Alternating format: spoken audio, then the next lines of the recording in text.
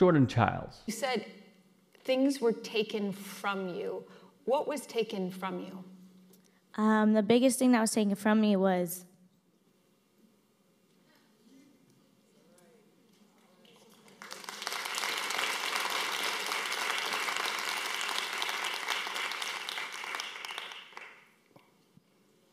that it was the recognition of who I was. Not like my not just my sport, but my person like the person I am. Spoke with Forbes and broke her silence on her bronze medal being taken away. To me, everything that has gone on is not about the medal.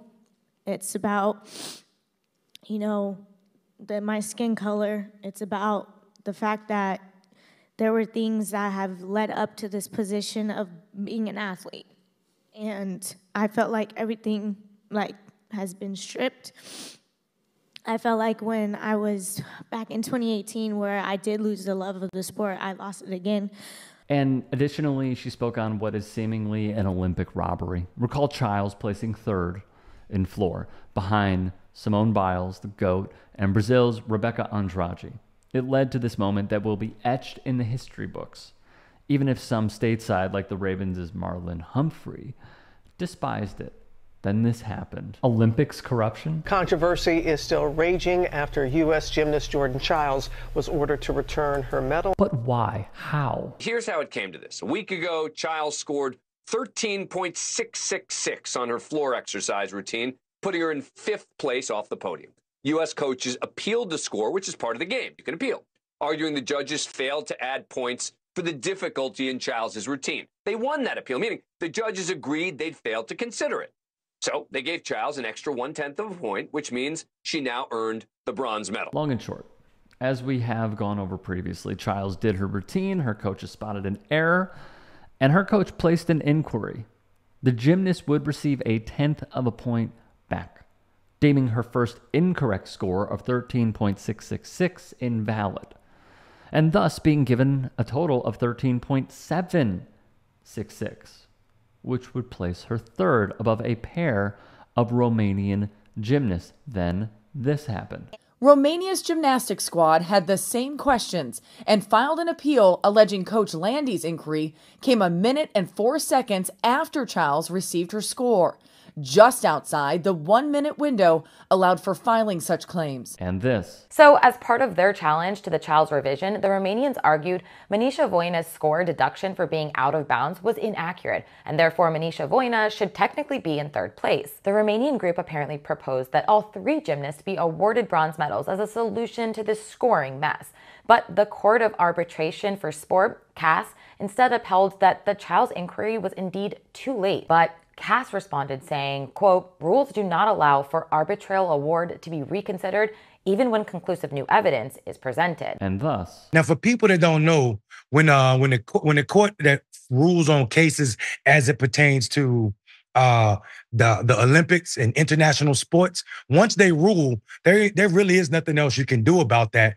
And the Swiss court is the only option. So that's why American gymnasts and the Olympics are threatening to take it there. I think people sometimes figure out like why we keep going to Swiss if it ain't for cheese, Tehran. But this is really the reason we're going because this is actually the only court that can actually do it, even though it's rare in that case. But another wrinkle, a potential conflict of interest. Dr. Hamid G. Gharavi serves as the head of the three-person panel at what I'm sure you've seen from many outlets is the CAS or Court of Arbitration for Sports. That's the body that overturned the review and led to Chiles not getting the bronze anymore. From the Times, details first published by the International Institute for Conflict Resolution and Prevention, a nonprofit, show that Mr. Gharavi, the presiding arbitrator in the hearing and a lawyer based in France, is currently serving as legal counsel to Romania in disputes at the World Bank's International Center for the Settlement of Investment Disputes. Mr. Gharavi's work on behalf of a Romanian on behalf of Romania dates back almost a decade, excuse me. Chiles, though, through it all, would take to Instagram. And this was a heartfelt, tough read that I'm going to uh, read for you right now. I have no words. This was on August 15th. This decision feels unjust and comes as a significant blow not just to me, but to everyone who has championed my journey. To add to the heartbreak, the unprompted, racially driven attacks on social media are wrong and extremely hurtful. I've poured my heart and soul into this sport, and I am so proud to represent my culture and my country. Third paragraph I will never waver from my values of competing with integrity, striving for excellence, upholding the values of sportsmanship and the rules that dictate fairness. I have taken pride in cheering on everyone, regardless of team or country. Finding joy again has been a culture shift, and I love seeing others embrace it. I feel like I have given everyone permission to be authentic to who they are. I am now confronted with one of the most challenging moments of my career. Believe me when I say I have had many I will approach this challenge as I have others and will make everyone, every effort, excuse me, to ensure that justice is done. I believe that at the end of this journey, the people in control will do the right thing. Unfortunately, they have not. They have not. That would be her lone statement on her Instagram.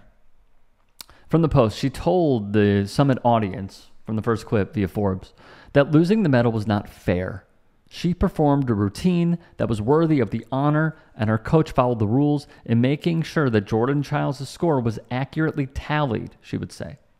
At the August 14th CAS hearing that led to the overturning of Chiles' medal, where she had to give it back, USA Gymnastics and Chiles' coach, coach did not object to the Romanian Federation's assertion that they missed the one minute deadline, which is a farce my opinion, of course. There was a great moment from Flavor Flav, a public enemy, who I may or may not be seeing soon, I hope so, where at the MTV VMAs, he gifted Chiles, as Variety called it, her very own diamond encrusted bronze stopwatch. Obviously, it goes without saying, Flavor Flav, you know, if one has been a caveman, wears a humongous watch as a chain around his neck, and he gifted it to Jordan Chiles. He is also connected and has a strong connection with the United States water polo team because he practically funded them. But the events that took place in Paris still linger for Jordan Chiles.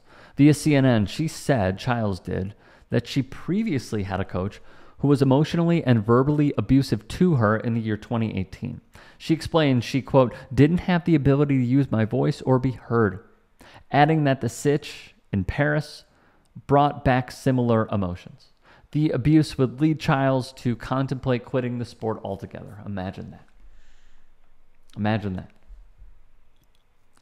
You turn it around, you win through rigorous abuse.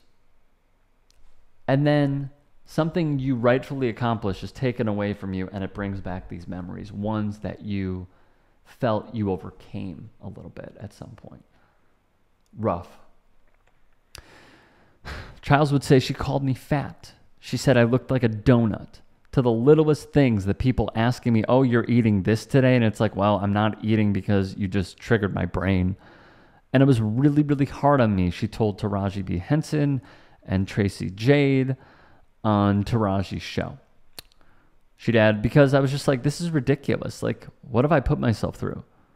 But I was also enjoying it at the same time. So it was like half of my brain was telling me one thing and half of my brain was telling me another.